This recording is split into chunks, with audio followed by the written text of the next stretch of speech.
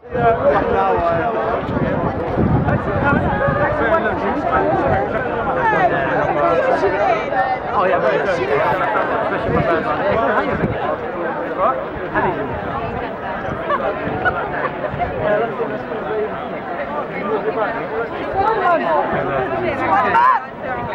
vacanza ragazzi, grazie. Eh.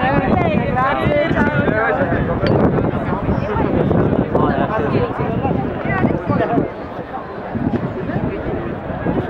Thank you.